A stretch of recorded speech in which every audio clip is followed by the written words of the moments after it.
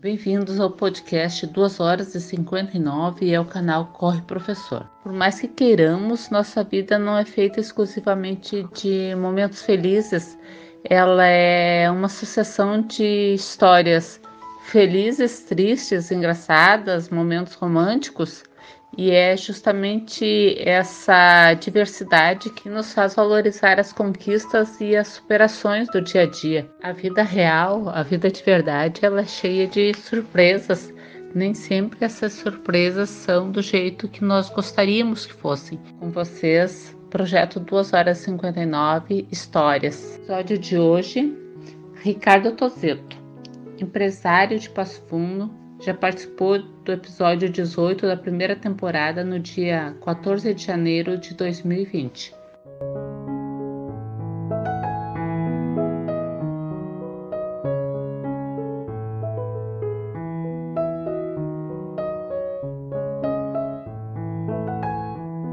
Quero cumprimentar aí os, os espectadores, né?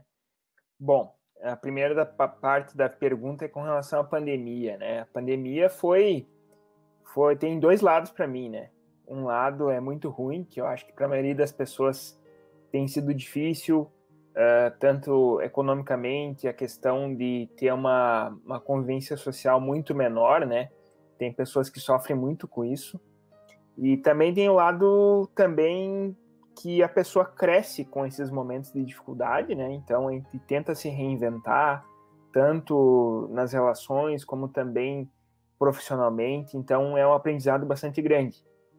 Uh, como a gente sabe que na, na pandemia a gente teve uh, a interrupção das provas de corrida, eu sou uma pessoa que não tive muita dificuldade de continuar treinando, porque para mim a rotina de treinamento de fazer o ato de sair correr, para mim é muito prazeroso, né? Então, até é difícil eu me segurar, ficar sem correr, né? Mas, claro que a gente sente muito a questão da motivação, né? De, às vezes, fazer um treino um pouco mais forte, fazer uma... explorar aí os limites em uma sessão de treinamento fica um pouquinho mais complicado, sem um objetivo claro. E aí, como a gente estava, assim, uh, nosso grupo de, de, de, assessoria, nosso grupo de amigos, a gente estava assim fazendo alguns testes na pista. Eu até estava mantendo meu treinamento uh, dentro da normalidade, né? Assim, com, tentando melhorar meus tempos de, em corridas curtas aí de 3 mil e 5 mil metros, até 10 mil metros. Então, o treinamento vinha bem, né? Uh, por outro lado, também eu estava passando por um momento profissional, assim, um momento também acadêmico bastante uh, trabalhoso, pesado, né? Então, profissionalmente, tinha muitos compromissos, continuo tendo até hoje. Acadêmico também, né? Como eu estava em época de qualificação do doutorado, eu estava bem cansado. Questão de eu ter que me dedicar tanto ao trabalho como também a minha tese de doutorado sugou bastante, né? Mas eu estava achando que eu estava no controle da situação, né? Então, essa é a minha impressão, que eu tinha total controle da situação. Em dezembro, aí, no início de dezembro, foi bem a época que eu qualifiquei, né? Então, até a gente fez um, uns treinos ali no início de dezembro, em que eu estava sentindo um pouco mais, né? Então, até teve um, um, um, treinamento de pista, que inclusive a gente fez junto, né? Uh, no mesmo dia lá, e, e, nós dois, a gente acabou tendo tendo o desempenho um pouco prejudicado, né, devido ao cansaço e tal.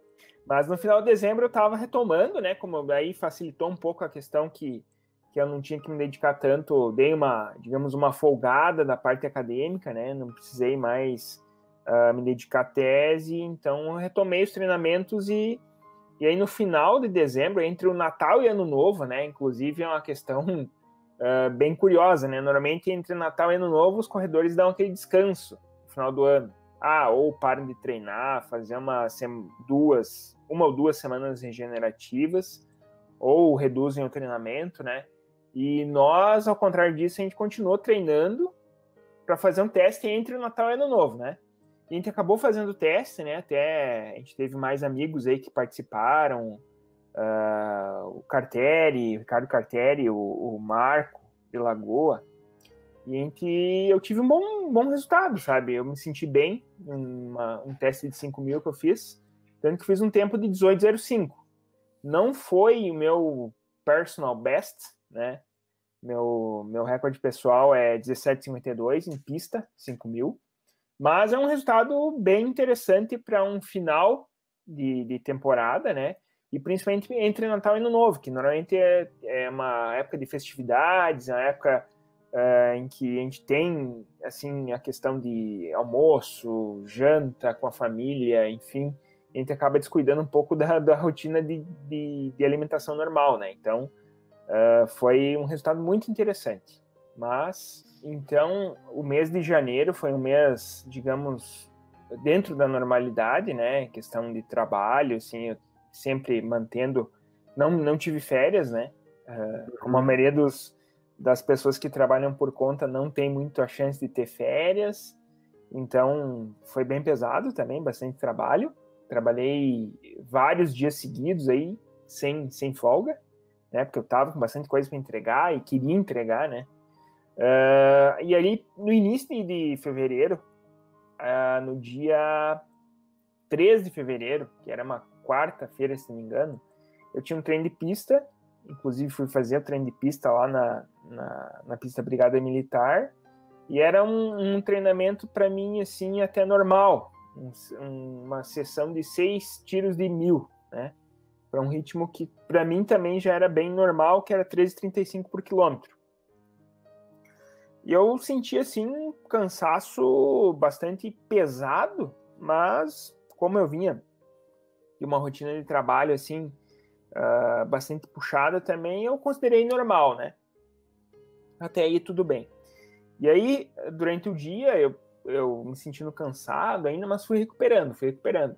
Na quinta-feira, uh, eu deveria ter ido treinar pela manhã, né? Normalmente meus treinos de corrida são, na maioria das vezes, pela manhã, mas alguns dias assim que eu tô um pouquinho mais cansado, aí eu prefiro ficar na cama, talvez uns 30, 40 minutos a mais aí, e fazendo no final da tarde, quando eu posso, né? Em algumas ocasiões eu posso, outras não.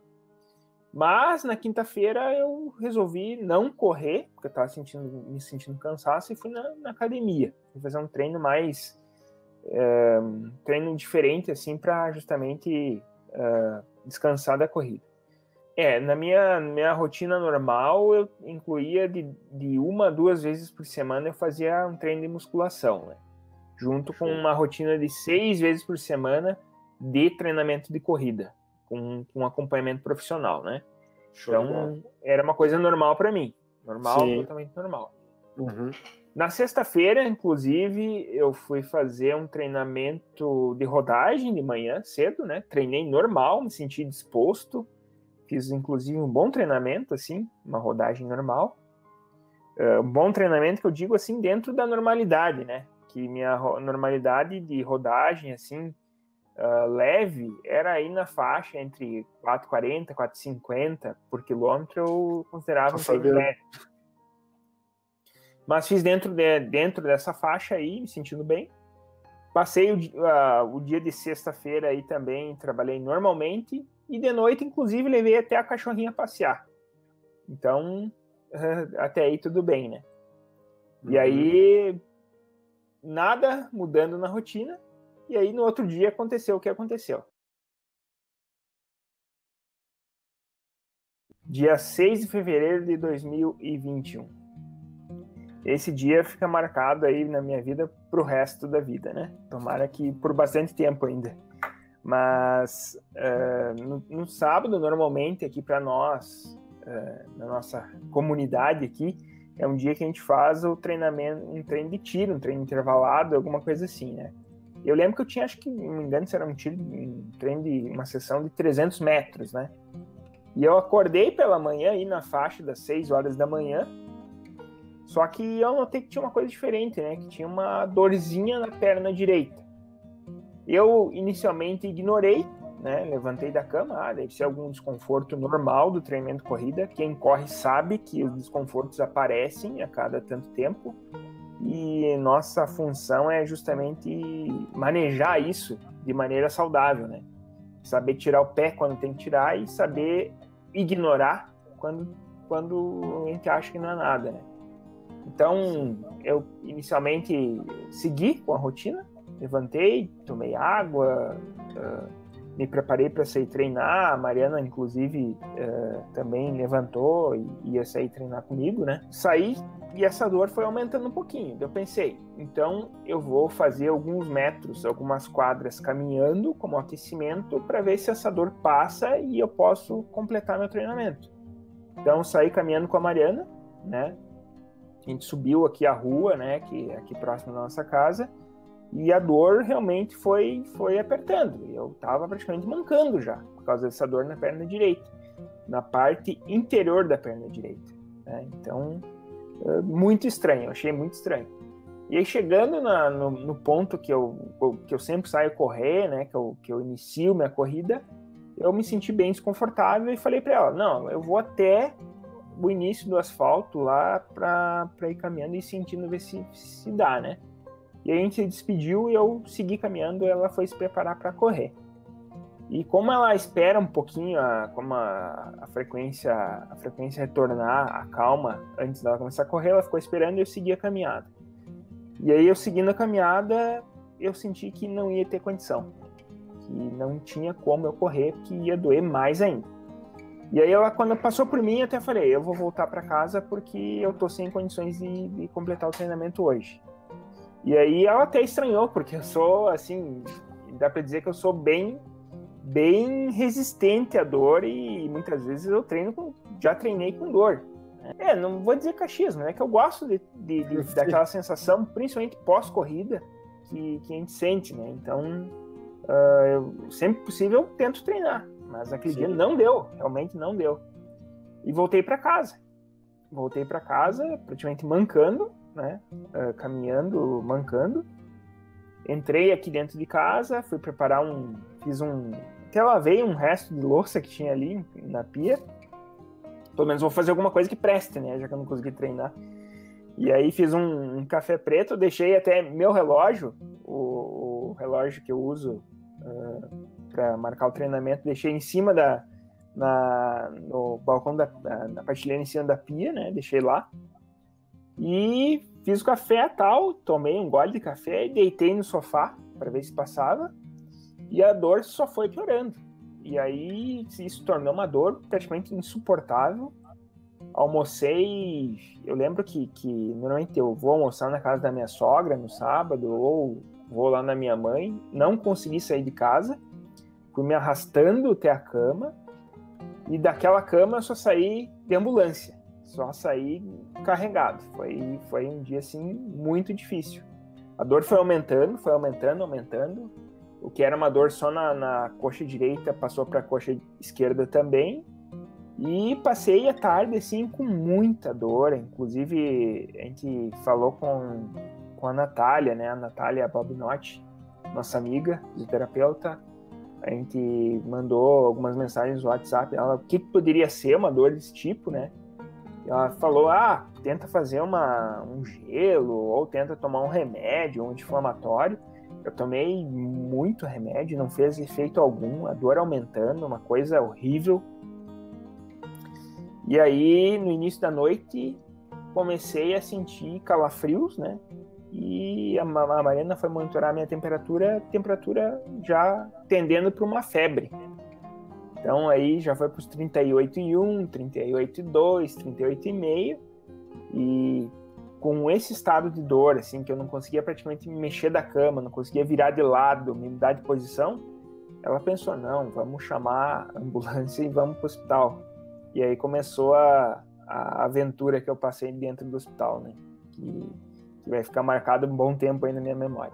A equipe de socorro que chegou aqui na minha casa para para fazer o primeiro atendimento, né, e, fazer, e recolher e levar para o hospital, eles pensaram, ah, uma dor muscular repentina e estado febril associaram imediatamente com Covid, né? E aí eu pensei, putz, deve ser Covid mesmo, né? Até eu estava acreditando Sim. que era Covid, embora eu não tivesse nenhum tipo de sintoma respiratório, nada, mas aceitei inicialmente esse, esse diagnóstico e fui, vamos na fé, né? Cheguei lá no hospital, Uh, fiz alguns primeiros, uh, fiz primeiro conversei com o médico antonista, né, e tal. Comecei já uma bateria de exames, já fui para uma área isolada para COVID, né, COVID-19. Embora eu tivesse a sorte de aquela época, dia 6 de fevereiro, não tem ninguém na área de COVID, né, naquela primeira recepção do COVID. E fiquei lá, fiz uma bateria de exames, tudo que é tipo de exame, exame de sangue, analisaram meus sinais vitais, temperatura, já me fizeram uma medicação assim, um anti-inflamatório muito forte que, que aí conseguiu aliviar um pouco minha dor.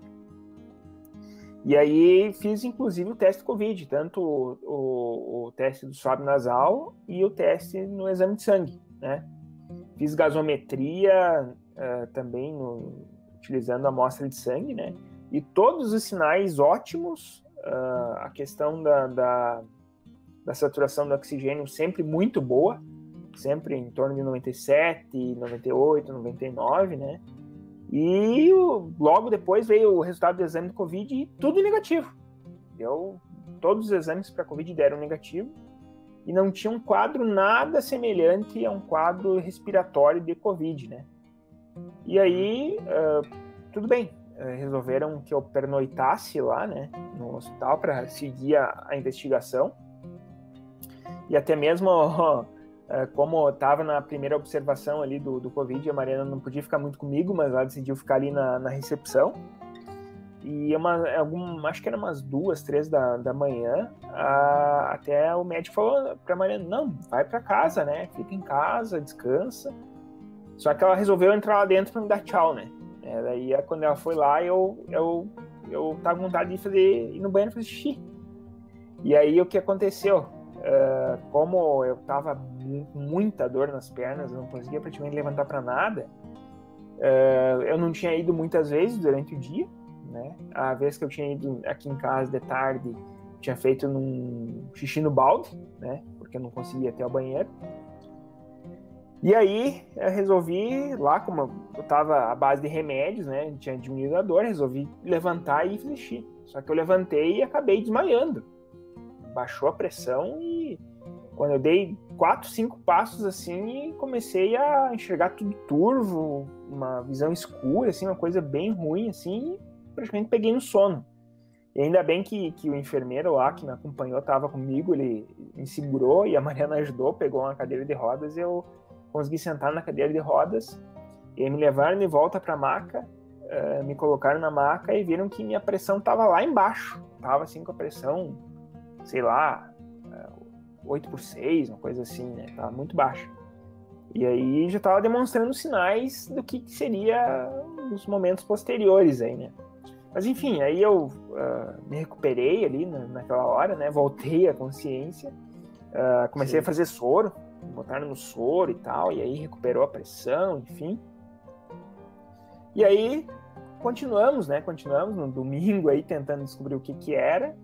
Uh, queriam me internar por Covid ainda, e a Mariana não aceitando, não aceitando.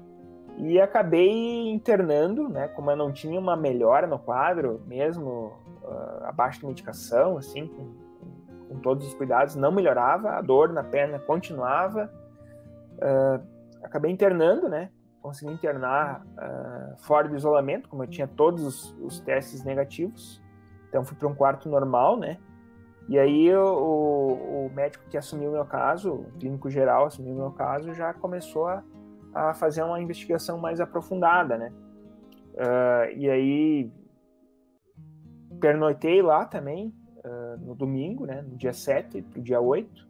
No dia 8 já fiz avaliação cardiológica, já fiz mais exames de sangue, várias várias coletas para teste de hepatite, HIV, tudo que é tipo de infecção, leptospirose, enfim.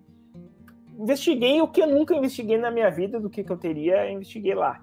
Né? Um check-up completo, cardiológico, de rim, tudo, tudo que tu imaginar. Só que o quadro ainda eu controlando a febre com via medicamentosa, né? Então não estava melhorando, não estava melhorando, ainda não, não tinha nenhum sinal assim que preocupasse, né? Embora eu tivesse com febre, com muita dor.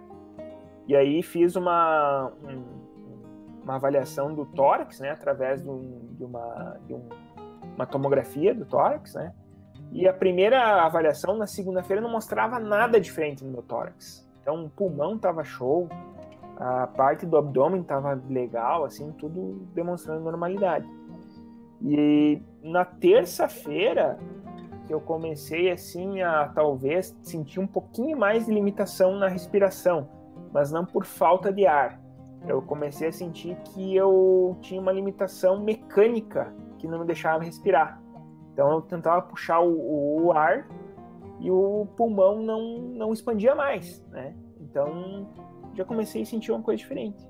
E aí na terça noite, o médico, o meu médico clínico geral lá que, que, que me acompanhou aí nessa, nessa jornada, ele me receitou mais uma vez para que a gente fizesse uh, uma tomografia de tórax e também uma ressonância magnética da região da bacia, porque eu sentia muita dor ali e ele estava desconfiado que poderia ser talvez uma apendicite, embora os exames de sangue não demonstrassem isso.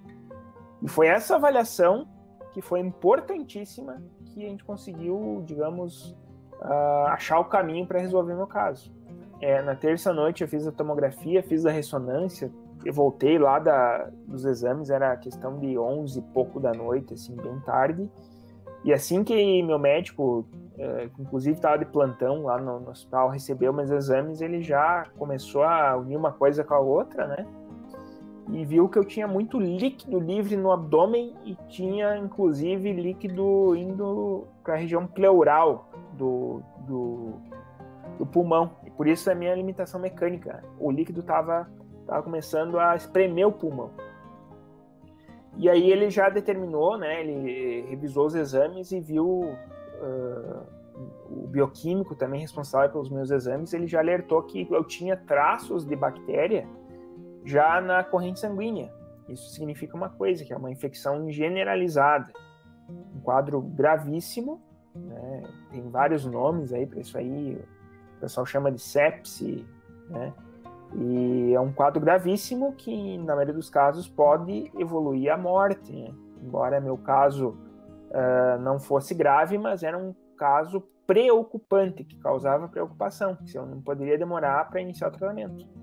Então, eu, meu médico uh, conseguiu estabelecer esse diagnóstico na terça-noite, quando era em questão de meia-noite e meia, uma hora, ele já começou com antibiótico, e já, já iniciou ah, o processo de enfrentamento da bactéria, que aí durou mais um bom tempo aí para terminar.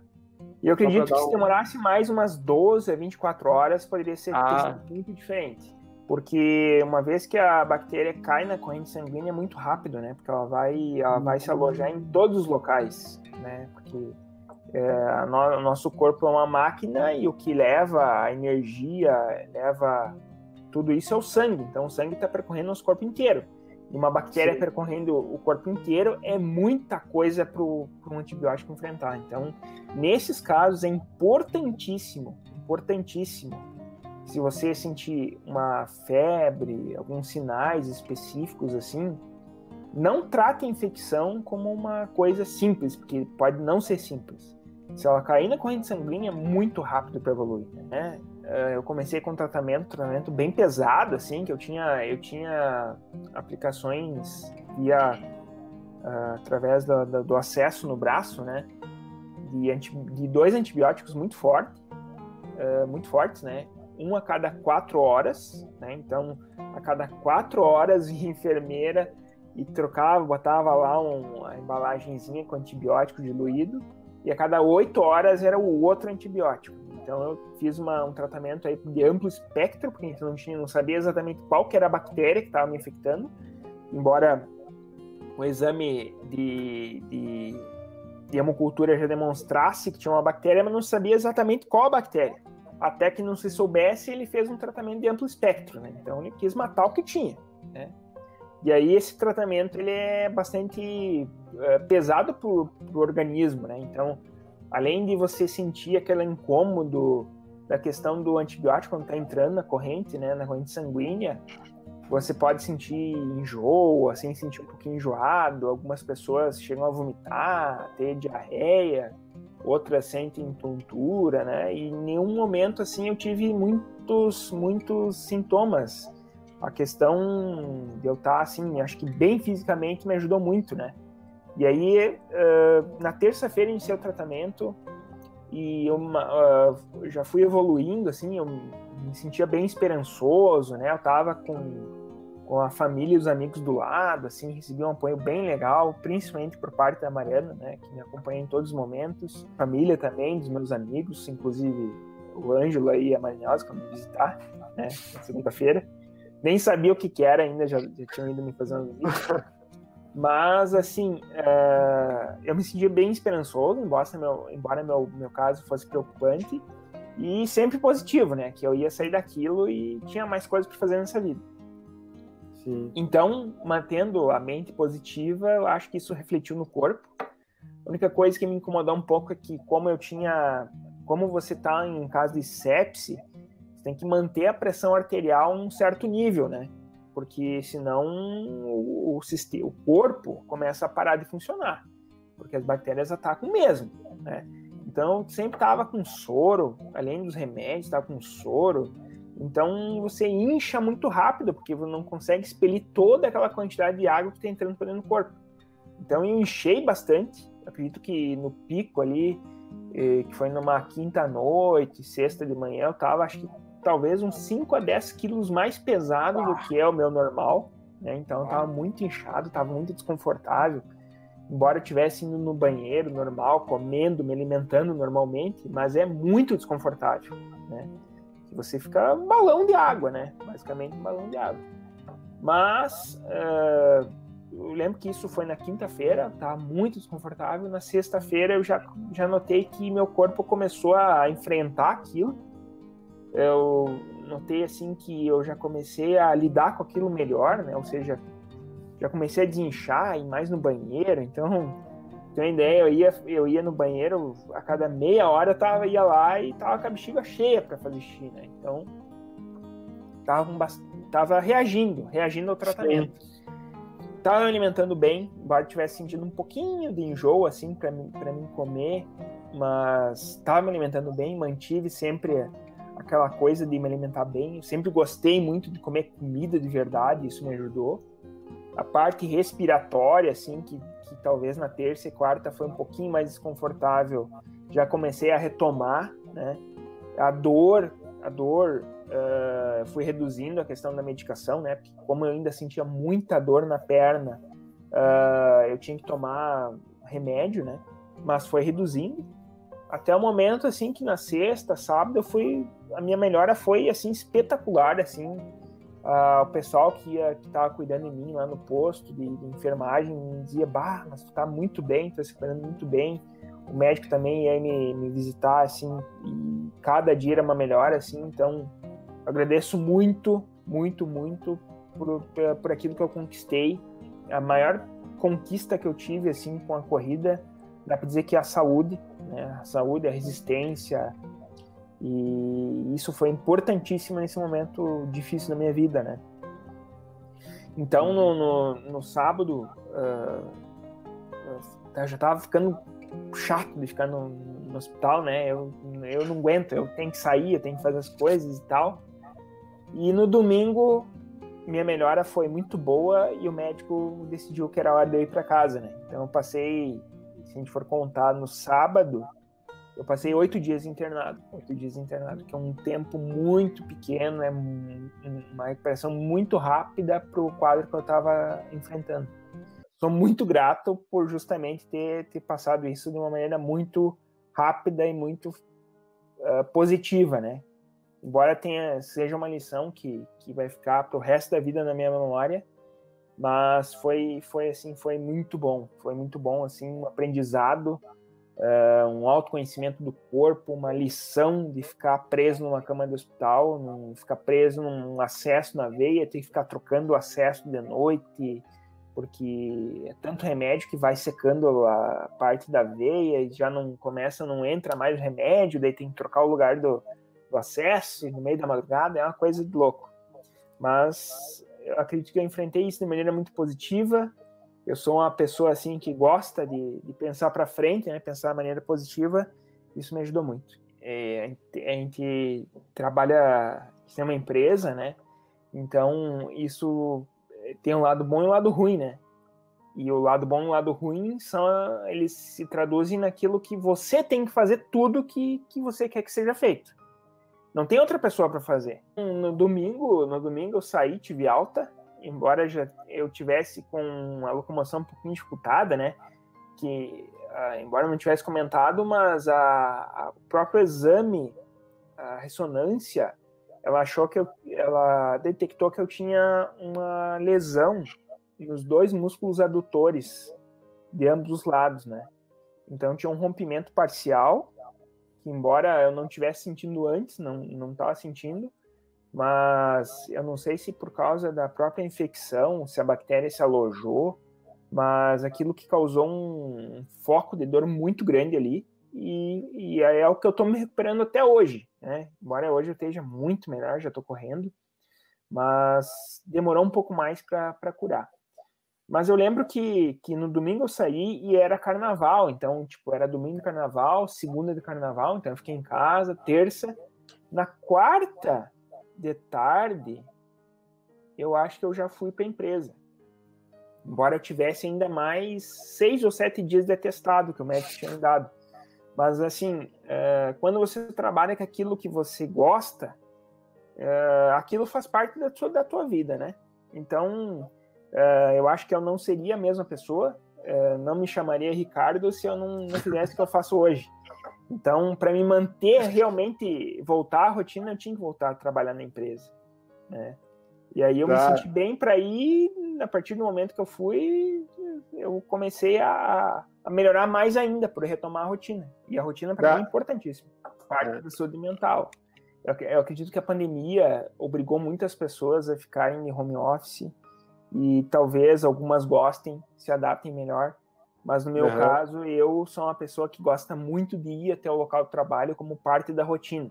Então, para mim, uh, aquilo estava fazendo falta e eu retornei ao trabalho. Olha, foi assim, uh, como, digamos, uh, o hospital foi uma lição, assim, para repensar a vida da gente.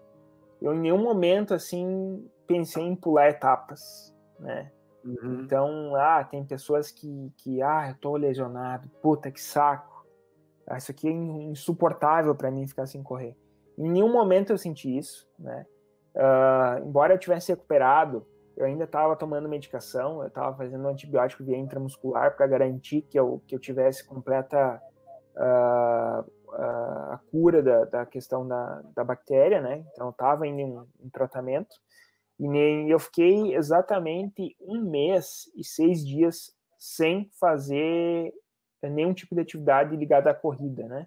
Justamente, desde 2012, que foi quando eu comecei a correr, foi o tempo que eu fiquei mais tempo afastado da corrida.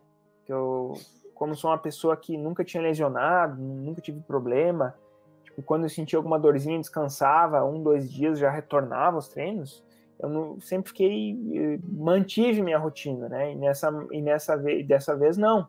Como eu estava passando por um tratamento de saúde muito sério, eu tive que ficar afastado, né? Então, e aí eu, eu voltei ao, devagarinho, né? Comecei com caminhadas. Primeiro dia acho que eu caminhei assim a questão de de 20 minutos, uma coisa assim para mim foi foi assim impressionante como é bom você voltar a sentir a sensação de sair do lado de fora, sentir o ar entrando no pulmão, você caminhando. Eu acho que, que o ser humano, ele todo dia tem que dar uma caminhada, sabe? É uma coisa ancestral. Uh, a gente não pode ficar parado, a gente não é feito para ficar parado. E a caminhada é importantíssima. Para mim foi muito bom começar a retornar com as caminhadas. Voltei com a fisioterapia. A Natália foi, foi bem importante também para me orientar nesse aspecto, né? E aí, como eu tinha muito medo, eu sentia muita dor e, e, assim, foi uma dor realmente tão forte, tão forte, que até hoje eu tenho alguns traumas da dor que eu senti. Importantíssimo que eu tivesse um acompanhamento de um profissional, né? E aí a Natália me acompanhou. Então, uh, voltei aos, digamos, treinos com caminhada, comecei com 20 minutos, 30 minutos, 40 minutos, 50 minutos, até que uh, agora no final do mês de março, mês de março. Aí eu resolvi é claro que com a liberação aí da, da, da minha equipe médica, que já estava já tava recuperado questão de alta da, da infecção, e também a parte muscular já estava se desenvolvendo melhor, aí eu voltei realmente a, a ter a, a, rotina da corrida. Comecei com um treino de 30 minutos no domingo, né? É, o primeiro dia foi bem estranho, assim, porque tanto tempo sem correr e talvez um pouco de, de aquela sensação, aquele medo de sentir dor. É, os primeiros três, quatro, três, quatro vezes, assim, que eu corri foi bem estranho mas depois foi retomando, né? Foi retomando devagarzinho. Eu fiquei três semanas correndo três vezes na semana. Na quarta semana, que foi a semana passada, já tive uma rotina de cinco vezes na semana. E essa semana, que foi a quinta, também cinco vezes na semana.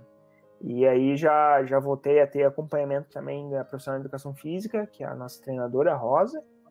E aí ela também já, já montou uma planilha, claro que de, bem, bem tranquila aí para poder retornar futuramente uma rotina de treinos, né? Com outra mentalidade, né? Outra mentalidade, mas estou é, me sentindo muito bem correndo e sinto que, que a parte cardiorrespiratória está bem também, sabe? Uh, sinto que, que, que ainda tenho potencial, mas assim, eu quero fazer esse todo, não pular etapas, né? Então, é, com bastante cautela. A, a principal lição é que a vida é um sopro, né?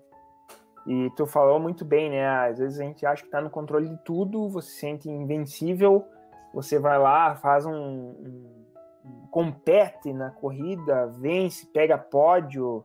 Ah, eu sou um, nossa, como eu corro bem, ah, como eu trabalho bem, como eu consigo dar conta de tudo, trabalho, família, treino, amizade, nossa, sou muito bom.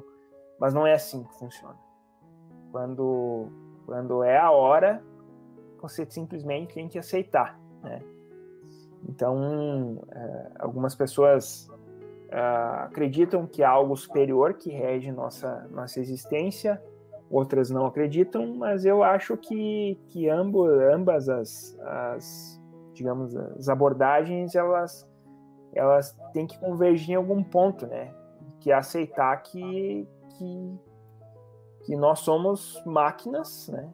Máquinas biológicas e alguma coisa a gente tem que aceitar, né? Que ainda a gente não é invencível, não, não somos imortais e temos que respeitar o nosso corpo, né? Então, Muitas vezes a gente trabalha demais, treina demais, se exige demais. E principalmente nesse aspecto eu acho que foi um enorme no aprendizado. A Mariana, né, que em nenhum momento ficou longe de mim, né, tá, foi posso dizer que ela salvou minha vida por ter me acompanhado. Então, sou Concordo. muito, muito eternamente grato a ela. Agradeço muito também a, a, a minha família e as amizades, né, que, que também me acompanharam estavam ali sempre pedindo notícia e, man, e, mandando apoio, mandando energia positiva. E também ao, ao grupo de profissionais que, que tornou tudo isso possível, né? Que eu tivesse aqui hoje. Agradecer especialmente aí a equipe médica que cuidou de mim, ao meu amigo também Alexandre Menegatti também que me acompanhou de perto e estava sempre preocupado lá comigo e, e me ajudou muito, muito, muito, muito mesmo lá no hospital a, a questão da, de quem vem me acompanhando hoje também, a fisioterapeuta Natália, nossa amiga aí, amigona, e também vocês aí, né, que, que nunca ficaram longe, né, sempre mandando aí energias. Nem sabia o que, que era, já tava, ah, a Marinelza já achava que era apendicite, não sei o quê. Assim, foi muito bom e também ter a família do lado, né, porque